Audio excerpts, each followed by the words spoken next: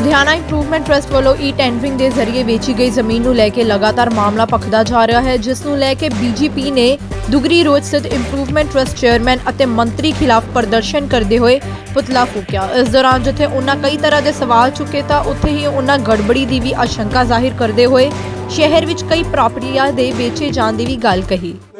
ਪਿਛਲੇ ਕੁਝ ਦਿਨਾਂ ਤੋਂ ਲੁਧਿਆਣਾ ਇੰਪਰੂਵਮੈਂਟ ਟਰਸਟ ਦੇ ਦੁਆਰਾ ਜੋ ਸਾਡੀ ਕਰੋੜਾਂ ਅਰਬਾਂ ਰੁਪਏ ਦੀ ਪ੍ਰਾਪਰਟੀ ਸਾਡੇ ਭਾਰਤ ਭੂਸ਼ਣ ਆਸ਼ੂ ਜੀ ਮੰਤਰੀ ਸਾਹਿਬ, ਉਹਨਾਂ ਦੇ ਆਪਣੇ ਥਾਪੇ ਹੋਏ ਚੇਅਰਮੈਨ ਬਾਲਾ ਸੁਬਰਾਮਨੀਅਮ ਜੀ ਤੇ ਉਹਨਾਂ ਦਾ ਇੱਕ ਪੈਦਾ ਕੀਤਾ ਹੋਇਆ ਵਿਅਕਤੀ ਹਿਮੰਤ ਸੂਦ, ਜਿਨ੍ਹਾਂ ਨੇ ਰਲ ਮਿਲ ਕੇ ਕਰੋੜਾਂ ਰੁਪਏ ਦੀ ਪ੍ਰਾਪਰਟੀ ਜਿਹੜੀ ਇੰਪਰੂਵਮੈਂਟ ਟਰਸਟ ਦੀ ਆ, ਉਹਨੂੰ ਹੜੱਪਣ ਦੀ ਕੋਸ਼ਿਸ਼ ਕੀਤੀ ਆ। ਇੱਥੇ ਬਸ ਨਹੀਂ, ਜਦੋਂ ਅਸੀਂ ਇਸ ਮੁੱਦੇ ਤੇ ਅਸੀਂ ਹੋਰ ਵੀ ਜ਼ਿਆਦਾ ਦੇਖਿਆ, ਤਾਂ ਪਤਾ ਚੱਲਿਆ ਕਿ ਇਹ 400 ਕਰੋੜ ਦੀ ਪ੍ਰਾਪਰਟੀ ਕਿਸੇ ਨਾ ਕਿਸੇ ਢੰਗ ਨਾਲ 91 92 ਕਰੋੜ ਰੁਪਏ ਦੇ ਵਿੱਚ ਇਹ ਹਮੰਤ ਸੂ ਜਾਂ ਉਸ ਦੀ ਕੰਪਨੀ ਨੂੰ ਦਿੱਤੀ ਗਈ ਹੈ। ਜਦੋਂ ਕਿ ਇਸ ਦਾ ਪਹਿਲਾਂ ਵੀ ਜਿਹੜਾ ਮੁੱਲ ਆ, ਉਹ ਇੱਥੇ ਦੇ ਪਰਮਿੰਦਰ ਸਿੰਘ ਗਿੱਲ ਜਿਹੜੇ ਕਾਰਜਕਰਨੀ ਇੱਥੋਂ ਦੇ ਚੇਅਰਮੈਨ ਸਨ, ਉਹਨਾਂ ਨੇ ਕਰੀਬ ਕਰੀਬ ਪ੍ਰਪੋਜ਼ਲ ਦਿੱਤੀ ਸੀ ਕਿ 400 ਕਰੋੜ ਦੀ ਪ੍ਰਾਪਰਟੀ ਆ। ਇੱਥੇ ਬਸ ਨਹੀਂ, ਇਹਨਾਂ ਨੇ ਓਰੀਐਂਟਲ ਸਿਨੇਮਾ ਜਿਹੜਾ ਆ, ਉਹਦੀ ਪ੍ਰਾਪਰਟੀ ਔਰ ਉਹਦੇ ਨਾਲ ਲੱਗਦੀ ਪ੍ਰਾਪਰਟੀ ਵੀ ਜਿਹੜੀ ਸਾਰੀ ਆ, ਉਹ ਆਸ਼ੂ ਗਰੁੱਪ ਨੇ ਹੀ ਕਿਸੇ ਨਾ ਕਿਸੇ ਢੰਗ ਨਾਲ ਖਰੀਦ ਲਈ। ਕਹਿਣ ਦਾ ਭਾਵ ਜਿਹੜਾ ਬਲੈਕ ਮਨੀ ਆਸ਼ੂ ਦਾ ਆ, ਉਹ ਇਹਦੇ ਬੰਦਿਆਂ ਦੇ ਰਾਹੀਂ ਉਹ ਚਿੱਟਾ ਹੋ ਹੋ ਕੇ ਸਾਰੀਆਂ ਲੁਧਿਆਣੇ ਦੀਆਂ ਪਬਲਿਕ ਪ੍ਰਾਪਰਟੀਆਂ ਘੱਟ ਰੇਟਾਂ ਤੇ ਖਰੀਦ ਰਹੇ ਨੇ। ਅੱਜ ਅਸੀਂ ਸਾਰਾ ਲੁਧਿਆਣਾ ਵਾਸੀ ਇਸ ਗੱਲ ਤੇ ਸਪਸ਼ਟ ਹੋ ਚੁੱਕੇ ਆ ਕਿ ਇਹ ਸਾਰਾ ਕੁਝ ਜਿਹੜਾ ਹੈ ਲੈਂਡ ਮਾਫੀਆ ਜਿਹੜਾ ਇਹਦਾ ਸਰਗਣਾ ਕੌਣ ਆ? ਭਾਰਤ ਭੂਸ਼ਣ ਆਸ਼ੂ। ਜਦੋਂ ਇਸ ਦਾ ਸਾਰੀ ਗੱਲ ਸਪਸ਼ਟ ਹੋਈ ਤੇ ਇਹਨਾਂ ਡਿਪਟੀ ਕਮਿਸ਼ਨਰ ਲੁਧਿਆਣਾ ਤੇ ਜਿਹੜੇ ਕਿ ਬਹੁਤ ਹੀ ਇੱਕ ਇਮਾਨਦਾਰ ਵਿਅਕਤੀ ਨੇ, ਉਹਨਾਂ ਤੇ ਦੋਸ਼ ਲਾਉਣੇ ਸ਼ੁਰੂ ਕਰ ਦਿੱਤੇ।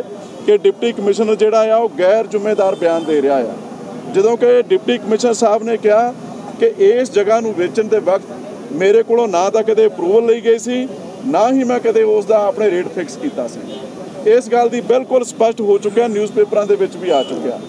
ਅੱਜ ਇਸੇ ਹੀ ਰੋਸ ਪ੍ਰਦਰਸ਼ਨ ਦੇ ਵਜੋਂ ਕਿ ਅੱਜ ਜੇ ਲੁਧਿਆਣਾ ਸ਼ਹਿਰ ਨੂੰ ਬਚਾਉਣਾ ਹੈ ਇਹਨਾਂ ਭੇੜੀਏ ਦੇ ਕੋਲੋਂ, ਤਾਂ ਸਾਨੂੰ ਸਾਰੇ ਲੁਧਿਆਣਾ ਵਾਸੀਆਂ ਨੂੰ ਇਕੱਠੇ ਹੋ ਕੇ, ਇੱਕ ਮੁੱਠ, ਇੱਕ ਇਕਜੁੱਟ ਹੋ ਕੇ ਇਸ ਜ਼ੁਲਮ ਕਰਨ ਵਾਲੇ ਵਿਅਕਤੀਆਂ ਦਾ ਟੱਕਰਾ ਕਰਨਾ ਚਾਹੀਦਾ ਆ ਤਾਂ ਕਿ ਚੇਅਰਮੈਨ ਹੈ ਉਹ ਕਹਿ ਰਿਹਾ ਕਿ 100 ਕਰੋੜ ਦਾ ਕੋਈ ਡਰਾਫਟ ਦੇਵੇ ਤਾਂ ਮੈਂ ਬੋਲੀ ਜਿਹੜੀ ਹੈ ਕੈਬਨਿਟ ਮਿਨਿਸਟਰ ਨਾਲ ਗੱਲ ਕਰਕੇ ਆਪ ਜੀ ਨੂੰ ਆਪ ਜੀ ਨੂੰ। ਪਤਾ ਹੀ ਹੋਏਗਾ ਕਿ ਟਰਸਟ ਦੇ ਹੀ ਇੱਕ ਚੇਅਰ ਇੱਕ ਟਰਸਟੀ ਨੇ ਜਿਨ੍ਹਾਂ ਦਾ ਨਾਮ ਆ ਜਿਪਸੀ ਉਹਨਾਂ ਨੇ ਕੱਲ ਚੇਅਰਮੈਨ ਸਾਹਿਬ ਨੂੰ ਕਿਹਾ ਕਿ 125 ਕਰੋੜ ਰੁਪਏ ਦੇ ਵਿੱਚ ਮੈਂ ਲੈਣ ਦੇ ਲਈ ਬਿਲਕੁਲ ਸਮਰੱਥ ਹਾਂ ਔਰ ਮੈਨੂੰ ਦੇ ਦਿਓ ਜੇਕਰ ਆਪ ਜੀ ਉਹਨਾਂ ਤੱਕ ਆਵਾਜ਼ ਪਹੁੰਚਾ ਸਕਦੇ ਹੋ, ਤਾਂ ਚੇਅਰਮੈਨ ਸਾਹਿਬ ਨੂੰ ਕਹੋ ਵੀ ਆਪਣੇ ਹਮੰਤ ਸੂਦ ਦੀ ਕੈਨਸਲ ਕਰਕੇ ਉਹਨੂੰ ਦੇ ਦਿਓ।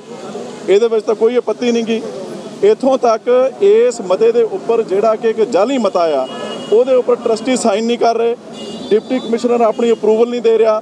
ਇਹ ਇੱਕ ਵੱਡੇ ਲੈਵਲ ਦਾ ਸਕੈਮ ਨਹੀਂ ਤਾਂ ਹੋਰ ਕੀ ਆ? ਕਾਂਗਰਸ ਪਾਰਟੀ ਦੀ ਜਿਹੜੀ ਸਰਕਾਰ ਆ, ਇਹਦੀ ਹਮੇਸ਼ਾ ਇੱਕ ਫਿਤਰਤ ਰਹੀ ਆ ਕਿ ਇਹਨਾਂ ਨੇ ਆਪਣੀਆਂ ਜੇਬਾਂ ਭਰੀਆਂ ਔਰ ਪਬਲਿਕ ਨੂੰ ਲੁੱਟਿਆ।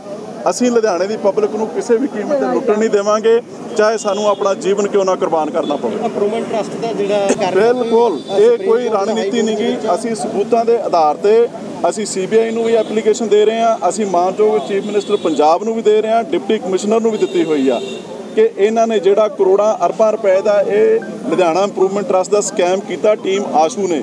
ਜਿਨ੍ਹਾਂ ਦਾ ਸਰਗਣਾ ਕੌਣ ਆ? ਭਾਰਤ ਪੁੱਛਣ ਆਸ਼ੂ। ਇਹਨਾਂ ਸਾਰਿਆਂ ਦੇ ਖਿਲਾਫ ਮੁਕੱਦਮਾ ਰਜਿਸਟਰਡ ਕਰਕੇ ਇਹਨਾਂ ਨੂੰ ਜੇਲ੍ਹ ਭੇਜਿਆ ਜਾਵੇ।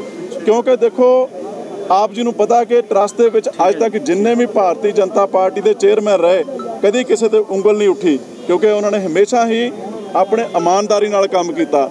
ਪਰ ਉਸ ਦੇ ਵਿਪਰੀਤ ਕਾਂਗਰਸ ਦਾ ਚੇਅਰਮੈਨ ਕੋਈ ਅੱਜ ਤੱਕ ਬਚਿਆ ਨਹੀਂ। ਸਾਰੇ ਜੇਲ੍ਹ ਗਏ ਨੇ। ਇੱਕ ਚੇਅਰਮੈਨ ਸੀ, ਉਹ ਬਾਹਰ ਭੱਜ ਗਿਆ, ਉਹਦੀ ਬਾਹਰ ਹੀ ਮੌਤ ਹੋ ਗਈ, ਜਿੰਨਾ ਕੁ ਪਤਾ ਲੱਗਿਆ। ਔਰ ਅਸੀਂ ਇਹ ਗੱਲ ਆਪ ਜੀ ਨੂੰ ਸਪਸ਼ਟ ਤੌਰ ਤੇ ਕਹਿ ਰਹੇ ਹਾਂ ਕਿ ਬਾਲਾ ਸੁਬਰਾਮਨੀਅਮ ਜੀ ਵੀ ਤਿਆਰ ਹੋ ਜਾਣ, ਇਹਨਾਂ ਦੇ ਵੀ ਹੱਥ ਜਿਹੜੇ ਤਾਜਪੁਰ ਜੇਲ੍ਹ ਦੇ ਪਿਛਲੇ ਪਾਸੇ ਜਾ ਕੇ ਲੱਗਣੇ ਨੇ, ਬਾਹਰ ਨਹੀਂ ਰਹਿੰਦਾ ਇਹ ਵੀ।